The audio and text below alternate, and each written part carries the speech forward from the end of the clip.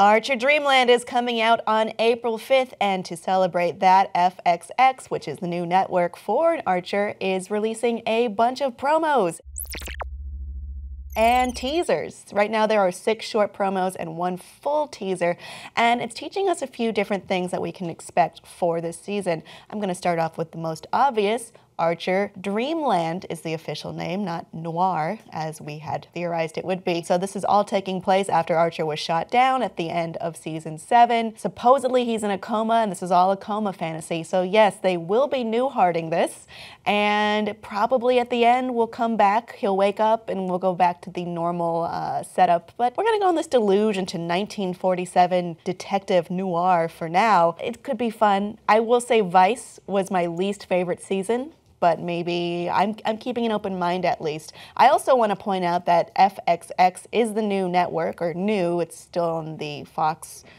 superlative movie extra channel family. Um, and this is where it will remain for its final three seasons. Sadly, I said final. Happily, I said three. So, what you can pick up from what we are learning from uh, both Adam Reed and these uh, teasers are a few different things. Um, one, Cheryl looks like she's taking a uh, big part in this. You may remember during Vice, Pam took a big part, and I didn't love it because it kind of changed what I love about Pam. But Cheryl looks like she's up to her normal antics, which is good. She's playing kind of a femme fatale archetype for this season at least, and looks to be, I would say, in one of the leading roles. Uh, Lana is also sort of a femme fatale, but she seems more like a lounge singer and maybe a comedian because she spins a joke, which is uh, the irony was not lost on me as someone who's watched Aisha Tyler do stand up before. Pam is playing Poovey, Archer's new partner, as he serves serves the. Uh, he's trying to solve the case of who killed Woodhouse, his old partner. I think they're just going to be addressing the death of the actor of Woodhouse and the disappearance of the character over the last season instead of just kind of dismissing it, which I like. I like that they're doing this because it seems like it's honoring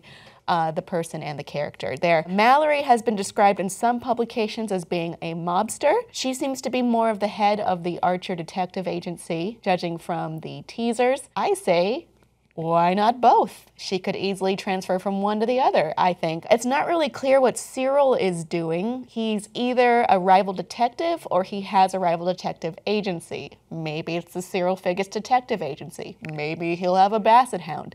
Who knows at this point? And Barry is around. Is he a human in this? Maybe, because what we're looking at here is all of this going on in Archer's brain. And in this, he's also re meeting every single character again.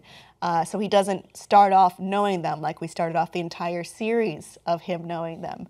Uh, and I think this will lead some insight into what he thinks of each character, which I don't know if it'll work from a narrative point of view, if they'll go the route of what is true to the character or what is um, his idea of who the character is, which could be fun for part of the time, but not the full time. Oh, and um, Ray is in the musician quartet for Lana, and he wants a marijuana cigarette, and then he ends up in jail. I don't know how involved he'll be with the detective agency. Maybe he'll be taking a back seat. It looks like Pam is serving like as a supporting role, um, unlike before. And Archer is back to womanizing, so that'll be fun for this season. I do think Lana will end up being endgame as she usually is. Audience, what do you think is happening for Archer Dreamland, aka Season 8? We will find out for sure on April 5th, but until then, we have lots of promos to look over and really, really anticipate this season opener. Let me know your thoughts below in the comments, and please like and subscribe for more.